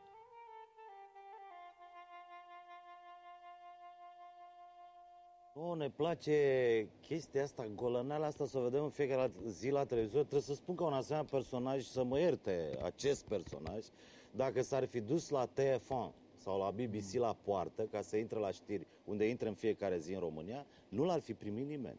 De ce crezi tot? E sau e mitul mioritic, în care noi ținem până la urmă cu ciobanul cel bun și religios? E și una și alta. E și una și alta. Ținem cu ciobanul cel bun și religios pentru că, în afară de ce vedem la televizor și în afară de felul în care îl judecăm pe Gigi Becali, sunt oameni care vin și depun aici mărturie că statul, minunatul stat despre care vorbim de multe ori, n-a mișcat un deget atunci când Gigi Becali s-a dus și le-a făcut case. Și te rog frumos contrazi tu pe oamenii ăia care în loc să stea în cort stau în niște case. De acord. Pe de altă parte însă, nu oamenii ăia sunt vinovați, nu Gigi Becali e vinovat, cred că vinovată este maladia de lege, așa cum înțelegem noi legea în țara asta. Sau cum o aplicăm. Exact. Cred că asta e problema. Faptul că se face justiție la televizor, are niște eve- efecte de care noi ne amuzăm în seara asta și nu e deloc cel mai sănătos lucru, dar altceva ce Dumnezeu să Dincolo facem de decât să ne faptul că amuzăm. justiția evarză un lucru pe care îl știe toată țara, nu asta e problema. Și pentru care suferă foarte mulți uh, oameni, dincolo de chestia asta, totuși Gigi Becali, nu pentru justiție l-am luat noi model. Noi, foarte mulți dintre noi, ăia 5% câți uh, l-au votat uh, data trecută, l-au luat drept model. Sigur, omul cred că e un băiat bun până la urmă, dar totuși, dar totuși, Îndrăznesc să spun, uh, să dau un citat din, uh, din Andrei Pleșu, care povestea la un moment dat următorul lucru. Spunea, domnule, deocamdată România e la următoarea vârstă. Zgomotul prinde foarte tare, alămurile prind în orchestra care e România la ora asta. Când mai apare câte unul cu flautul, nu-l aude nimeni. Exact așa e și în povestea asta cu, cu Gigi Becali. E normal să fie foarte mult zgomot. Și voi ați povestit în prima parte despre Da, lucrul cum ăsta. a e zis normal bine să fie sexy mult zgomot. Brăileanca, a, a, ea a intuit excepțional. Dacă nu țipi prostii la televizor, nu te bagă nimeni să... Așa e. Apropo de zgomot, pomeneai zgomot. Că, până la urmă, zgomotul e o rețetă de succes în România, Este. mai ales pe televizor. Da, e. Haideți puțin, dacă mai țineți minte uh, sloganul Un președinte pentru liniștea noastră. Foarte bun, îndealfel, de mare succes. Alte vremuri. Românul de azi, românul de UE, cu dinamismul prins în criză, are nevoie de stimul mult mai puternici. Nu poate trăi fără să viseze și nu mai ajung nici gropițele Andrei Marin, nici ochii Melaniei, nici chiar tot decolteul lui Esca. Vreau un spirit mai aspru și mai tare. Și atunci zeul televizoarelor a sugerat discret un nume. Ilinca Vandici. Emisiunea Stele sub lupă este cea care se dedică dumneavoastră.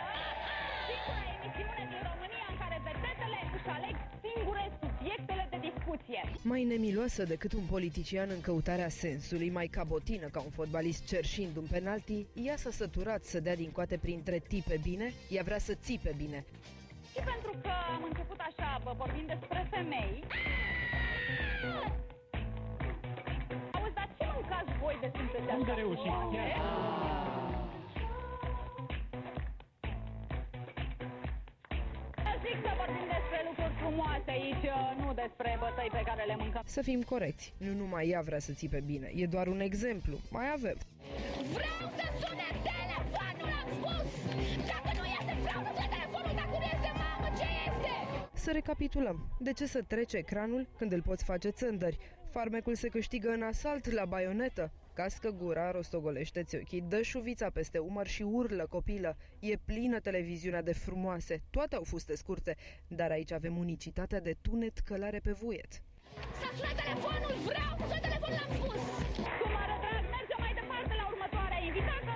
Dacă nu este, mamă, ce este? Bunicul este în extaz, e mult, hai să publicitate. Asta ne simțim împreună, clar. Normal că Mă, eu cred că oamenii erau într-un club de noapte, foarte bine luminat, și pentru că nu s-auzea nimic datorită muzicii, dar clubul ăla de noapte unde se duc șoferii de tir după o cursă de 2-3 mii de kilometri. Așa mi s-a părut. Adică, totuși, eu când eram mic credeam că televiziunea se ocupă cu altceva. Liviu, nu vreau să fac eu pe filozof acum, dar câtă vreme spațiul public e mut, la televiziune e foarte mult zgomot. Câtă vreme nu te poți manifesta în spațiu public, nu poți să povestești civilizat, urli la televizor. Și asta e alegerea. Ne place foarte tare spectacolul, țipăm sau, cum spun oltenii, crăunim la televizor în gura mare, facem urât, pentru că ăsta e locul în care am ales noi să ne manifestăm, în absența altor spații, Să mult mai înțeleg că, sănătoase pentru uh, treaba asta. Tot ce ni se întâmplă la televizor se datorează faptului că suntem de viață. Și pentru că suntem, suntem de viață și de gașca, e clar. Dar, uh, uite, vreau să-ți dau un exemplu. OTV. Spre deosebire de mulți dintre prietenii mei, eu nu râd de OTV, pentru că OTV e o televiziune a dezmoșteniților. Urmăresc postul ăsta de când a apărut și îndrăznesc să fac pe nebun în momentul ăsta. Uite, la show-ul tău, eu la show-ul meu tac. La show-ul tău îmi permis și eu să vorbesc. Uh, e un subiect foarte interesant de studiu OTV. E o televiziune a tuturor celor da, care sunt refuzați în E altă o parte. televiziune de Mahala la care se uită Mahalaua. Pe de altă parte- Așa arată Mahalaua. Uh, Dar Tocmai du, povestea frate, Dan Mahalaua să Diaconescu. facă și ea ceva. Și că Aici e povestea povestea. Dan Diaconescu că l-au uh, interpelat as, uh, telespectatorii și au zis, dar tu ce înțelegi prin weekend? Deci sunt spectatori ai OTV-ului care nu știu ce la weekend. Dar asta e televiziunea, omul a prins o nișă, se Așa pare e. foarte mare. Așa Ăștia e. sunt oamenii care ne înconjoară, trebuie să trăim cu ei. Dar hai să nu uităm presa scrisă, totuși. Da. Pentru că n-aș vrea să, uh, n-aș vrea să uităm și uh, cum se comportă jurnaliștii. Faptul că sunt jurnalist, asta nu mă face să nu scriu și să spun despre, uh, hai să zicem, micile șmecherii ale jurnalistului din România. Pentru că am pretenția de la jurnalist să respecte ceea ce cere de la politicieni sau de la cetățeni. Foarte corect. Nu numai Băsescu are fete prezidențiale în cartiere rezidențiale. Are și Voiculescu, la știri, că și el e președinte. Și știți cum sunt patronii pe la noi, suntem ca și copiii lor. Gabriela Firea, care va aduce știrea, i-a cumpărat mamei sale un apartament într-un cartier rezidențial. Până aici este în firea omului. Dragoste de fată, ce poate f- fi mai frumos, ce poate fi mai deosebit. Ziariștii de la evenimentul zilei au găsit însă mai mult decât un hai mamă în casă nouă. Poate chiar un dita mai șmenu. Pentru cine nu știe cine cu cine și unde, Vrânceanca e în trustul lui Felix, ca mama lui Ștefan cel Mare la poarta castelului. Așa că nu i-a fost greu să facă din această știre domestică cu mama sa un carnagiu publicitar mascat în valoare de câteva zeci de mii de euro. O să ziceți că business is business. Da, dar exact pe locul unde scria în urmă cu 8 luni, așa, cartierul german al lui Țiriac suferă de boli românește, românești, tot acolo, astăzi, scria altceva mult mai duios și tandru. Un apartament în residence este o investiție excelentă din toate punctele de vedere. Asta înseamnă atitudine constructivă a presei. Tu construiești la mama o casă, eu construiesc la tine imagine. Dar, doamna Firea, discountul, cât e discountul? Deci, și noi ziariștii da. greșim, așa că nu cred că uh, n-ar trebui să ne penalizăm. Crezi că este uh, o chestie canibală? E urât ceea ce fac, Cătălin? Nu știu cum e povestea asta cu Gabi Firea și nu o să-mi permit să povestesc despre așa ceva pentru că sunt în totală necunoștință de cauză. Te-am povestit-o eu mai devreme. Știu însă alte cazuri pe care le cunosc mult mai bine decât cazul ăsta. În ceea ce mă privește, la cât o știu pe Gabi Firea, Gabi Firea e un personaj cu respect față de meserie, iar despre povestea asta serios, nu sunt în temă, nu vreau să fac deloc vreo prietenie Ești din tu asta galant, la televizor sau să fiu galant, serios, chiar nu știu. Pe cuvânt de onoare că nu știu. În ceea ce privește presa însă, cred că unii dintre colegii noștri, foarte zgomotoși de altfel, uh, n-am deloc o plăcere în a povesti despre colegi, cu atât mai puțin plăce- plăcerea de a povesti despre ei la televizor. Însă unii dintre colegi ar fi cel puțin decenți dacă ar lăsa un pic mai moale și... Cu ce? Cu spălatul cadavrelor? Exact. Am da, înțeles. dacă ar Uite, lăsa n-ai un pic mai moale. zis tu, am zis-o eu. Spune-mi un cuvânt sau băi, o locuțiune pentru tot ce ai văzut tu în seara asta aici. Delir. Delir. E România un balamuc? Da, e un balamuc, dar în balamucul ăsta, pe lângă balamuc, există și multă lume sănătoasă. Și cred că balamucul ăsta pe care noi îl denunțăm așa cu mult umor și cu inimă deschisă câteodată, cred că e un fenomen firesc pentru felul în care ne-am făcut culcușul de 20 de ani încoace. Nu cred că suntem mai anapoda decât multe nații de pe lumea asta. Tu nu pleci din țară, nu vrei să pleci din țară. Mai stai prin port Mai pe la stau, noi, da, nu? da, da. Am înțeles. Da. Mulțumesc, Cătălin mulțumesc foarte Ștefănescu, frumos. pentru că ai fost, că mă simțeam singur să comentez uh, asemenea delicii care ne înconjoară să le spun singur și te-am chemat, îți mulțumesc, mulțumesc foarte frumos mult. și să ai baftă cu Vine emisiunea Mihai Dobrovolski în curând pentru că mai avem două cazuri senzaționale la care o să râdeți pentru că nu așa, mâine dimineață trebuie să fiți bine dispuși.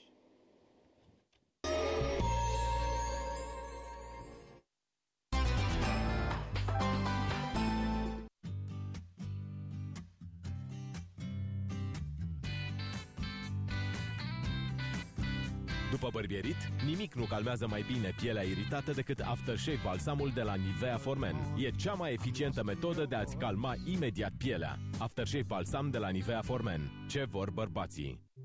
Chiar crezi că așa nu o să te mai trezesc din somn cu sfărăitul meu? Pe mine mă ajută în fiecare seară să scap de congestia nazală. Încearcă-l pentru mine. Flexibilitatea benzilor nazale Respir Ușor îți deschide nările mai larg, ajutându-te să respiri mai bine pe nas. Astfel, congestia nazală este redusă, iar tu vei respira mai ușor și vei sfărăi mai puțin. Respir ușor, somn ușor. Holsten. Am adus cele trei ingrediente pure ale berii germane. Hamei, orz, apă și în noul Holsten fără alcool.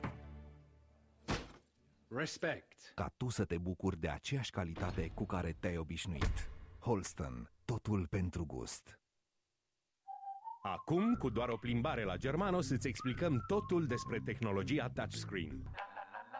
Elegantul telefon LG Venus K F600 cu ecran senzitiv, cameră foto de 3 megapixel și garanție pe viață este numai un leu la abonamentele Cosmote Full Option. Pentru telefoane mobile, întreabă la Germanos. Abonează-te la Cosmote Full Option 200. Ai 200 de minute naționale și internaționale și 1500 de minute și 1500 de SMS-uri în rețea. Știai că mare parte din calciu se irosește fără suficientă vitamina D și nu mai ajunge în oase? Fără suficientă vitamina D în organism, mare parte din calciu se irosește. Comparativ cu alte lactate, Danonino conține și calciu și vitamina D. De aceea îi dau copilului meu Danonino în fiecare zi. Iar acum cu noi magneți Danonino îl ajut să construiască cel mai lung tren din lume. Copilul tău crește sănătos și învață să socotească.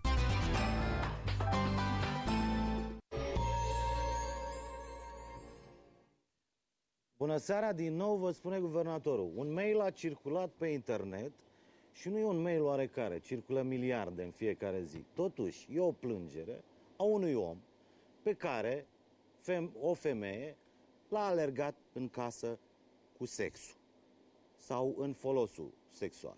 E o plângere a unui om p- procopsit, dar oropsit de faptul că are o uh, doamnă care, uh, uh, căruia nu-i ajunge.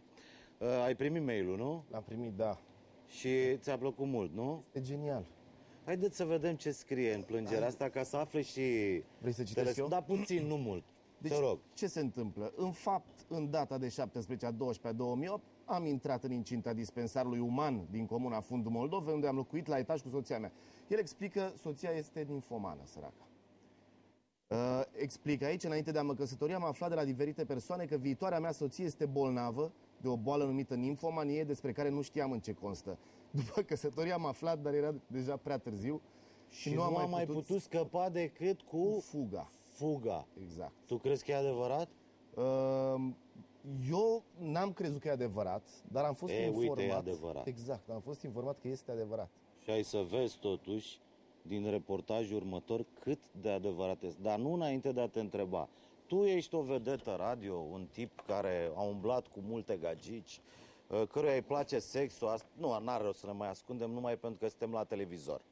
Ai întâlnit vreodată vreun caz de ăsta de doamnă care avea această boală și care te-a alergat cu sexul prin studio, pe acasă, pe stradă?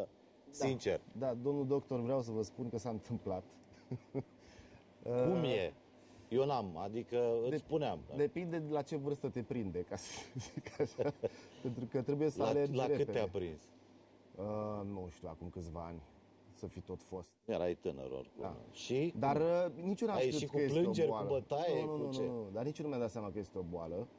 Și, în fapt, uh, nici acum nu cred că este o boală, ci, așa cum am zis și în uh, citatele mele, care au fost uh, la rândul lor citate de televiziunea dumneavoastră, uh, ninfomanele sunt niște supereroine fără costum.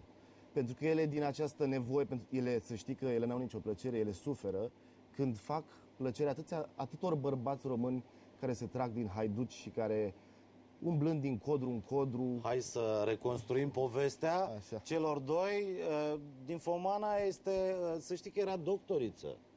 Atenție, ninfomana e chiar doamna doctor. Doamne, s-a căutat. izbăvește-mă de vrăjmași. Nu lăsa prerobul tău de batjocura diavolului. Așa se tânguie neafane, văcaru, răpus de o soartă buruienoasă. Amu, ci că și soarta lui a fost cândva ogor cu maci, dar mărăcinele boale i-a stricat sămănătura de parcă trei cireze au dănțuit prin dânsul.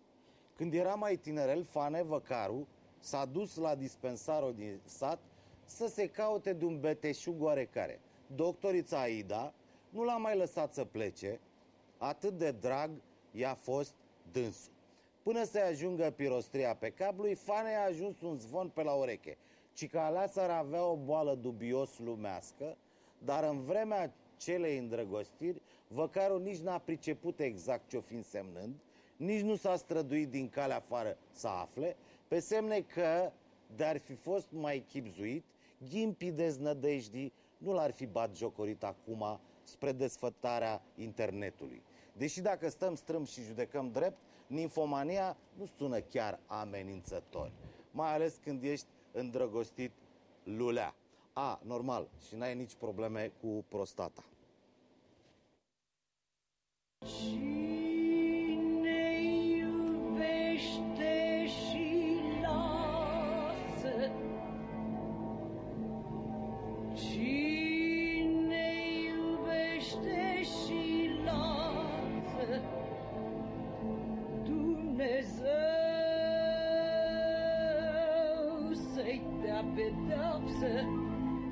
și o iubită, nu? De 5 ani o iubește văcarul pe doctoriță. E dragostea mea din tinerețe. E, după căsătorie am aflat, dar deja era prea târziu și nu am mai putut scăpa decât cu fuga. Cinci ani jumate nu a fost problema asta. Dacă vrea să fugă, trebuia să fugă uh, de la început. Go!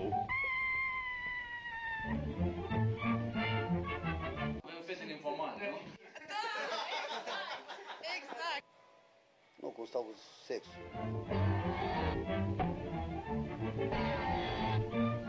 dragoste. Dar ce avea mereu, mereu? Nu era treabă de asta. S-o ruga să să o lăs în pace. Bă, zice, Doamne ferește, nu vedeți, pe cuvântul meu. E adevărat, e adevărat. Chiar așa e, doamna doctor? Da. Cu ăla și cu ăla și cu vizitivul care... Și avea perioada, așa, primăvară și toamnă. Ninfomanie, dorința irezistibilă și insațiabilă pentru actul sexual la femei sau la animalele femele. Lumea știe foarte bine că e, sunt persoane care își fac un titlu de glorie, că vor să uh, uh, se culce cu o mie de bărbați și nu știu ce. Nu, nu vreau să se întâmple așa. Că iubești. Neafane plânge și a tot plâns amarnic, dar tot pare cu mirare că suspinele din fundul Moldovei se aud în cele patru vânturi. Explicația există și e simplă. Necazul a plecat cu poșta electronică de la tribunalul la care Fane s-a dus cu o plângere. Și umblat din inbox în inbox până în televizoare. Soția mea este medic la dispensarul uman din fundul Moldovei și am avut domiciliu comun în acest imobil până m-a alungat pe motivul că nu mai fac față cerințelor căzniciei. Adevărat. E adevărat. 90% are nevoie de un mecanism mai special. Vreme mult ca oricine, nu. E o boală care e din natură, nu e... Ce a avut așa special de la, la doamna doctor de bărbat? Despre Dumnezeu cu natura asta.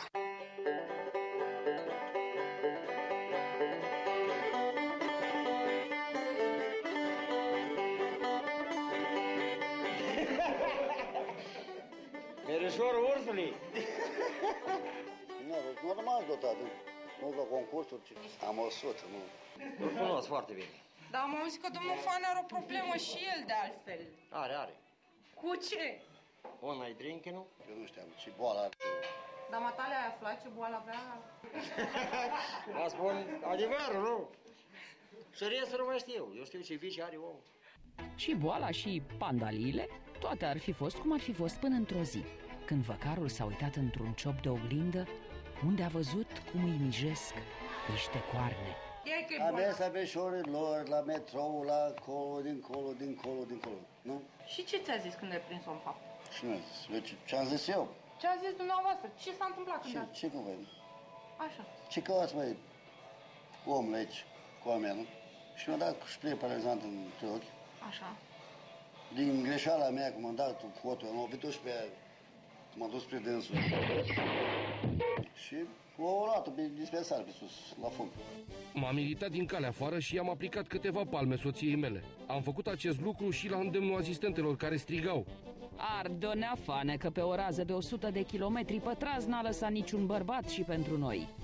Am treabă cu asistentul, nu am treabă cu nimic. Ce-i Păi nu. cată teritoriul ăla? Care târâtură? Ăla ăla care trăiește cu dânsul. A real sharp curly curly boy whose line is oh so smooth. Adică dumneavoastră a strigat Ardo Donfane că n-a lăsat... Priviți și constatați, priviți și Doamna doamna doctor, e Arghina. tot asta noastră. 50% probabil din femei ar putea fi acuzate de așa ceva. Fiecare are niște momente prin care trece, uneori mai dificile, nu? M-am gândit de altă treabă, nu? Nu? Că e mai bun, că mă, poate fiecare om, nu? Și elefantul, tot elefantul sau drumul la fel. O mai fost însurat odată și am avut o copilă și, și aceea s-a dus cu tot cu altul.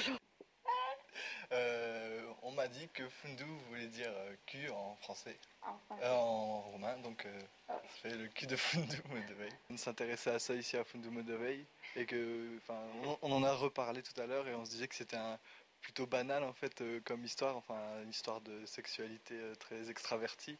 Sauf que c'est ici à Fundu Medevei, donc apparemment ça fait bien rire tout le monde.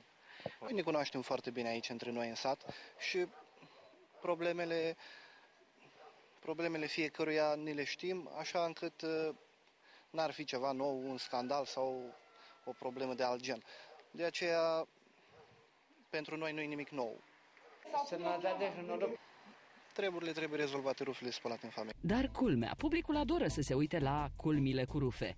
Eu când am mers pe, pe Ghencea, instantaneu au intrat într-un uh, chioș de ăsta cu toate dimensiunile, știi?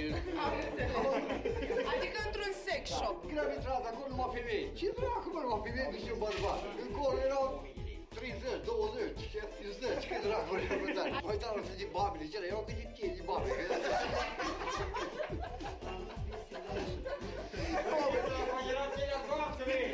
Erau tete, erau tete mână câte ora, știi așa, tu vezi toamnele astea, ce? Erau împachetați acolo, zic, oh, oh, tai o ghiță, aici nu-i baie, aici nu-i nimic, înțelegi? Veselia de la cârciumă nu se potrivește cu îngrijorarea de la primărie. Nu înțeleg de unde a prezentat atât, atât de mult interes o, o simplă contestație pentru care eu am o mare nedumerire cum a ajuns și publică. O să mă interesez, o să fac tot ce este legal posibil pentru a vedea cum ajunge public un act Deci tărășenia a făcut până la urmă mult rău. Distruge imaginea comunei, ține bărbații mai mult prin crâșmă, dar mai ales și mai ales a făcut franjuri sufletul văcarului. Nu. Și eu și eu iubit Nu? Where do I begin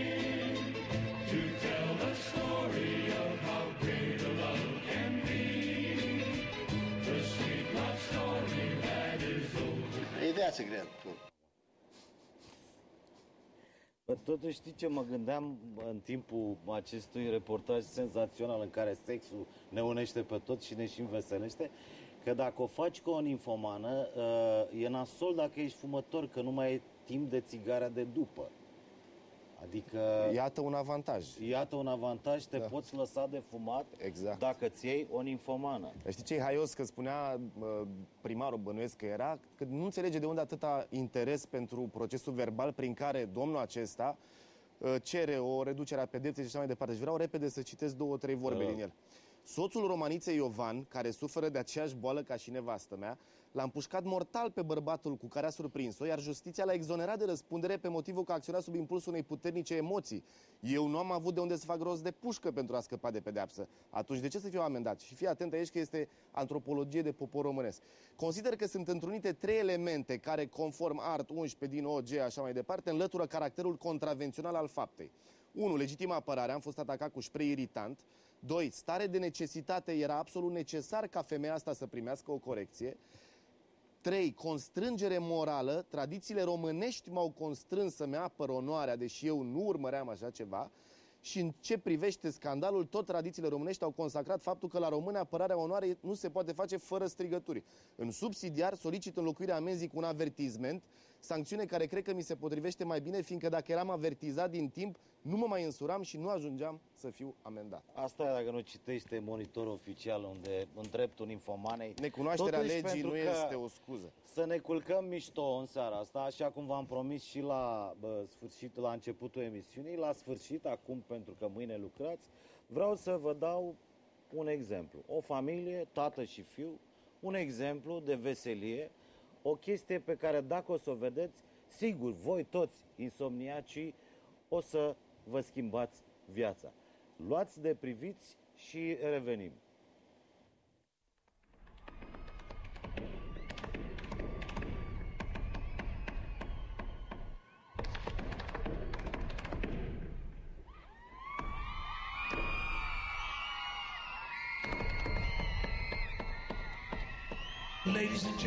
Tonight, here for one night only, would you please welcome Mr. Stavros Flatley.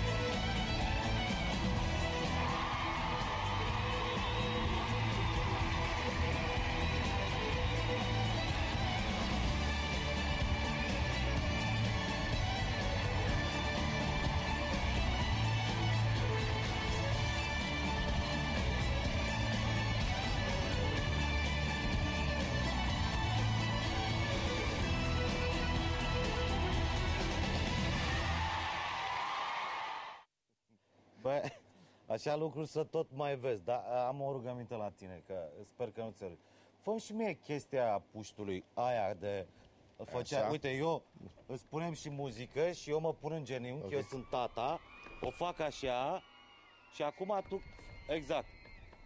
Ah, cât îmi doresc să Ladies and greșesc. gentlemen, tonight, here for one night only, would you Da, please e, welcome e, e haios de am distrat, pentru că asta e uh, ideea, uh, de-aia vă și sfătuiesc ca data viitoare, anume duminica viitoare, să uh, vă uitați la 21.50 la emisiunea Guvernatorul. Pentru că, nu e așa, Binili învinge. Toate femeile din lumea asta știe că Binili învinge. Bună seara,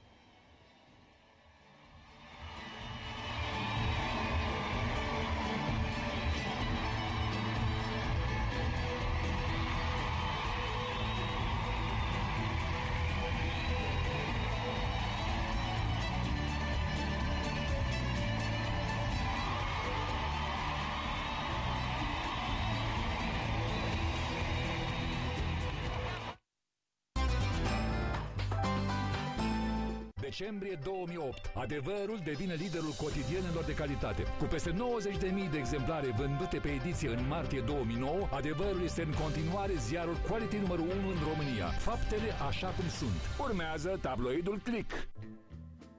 Chi può fermare il fiume che corre verso il mare? Le rondini nel cielo che vanno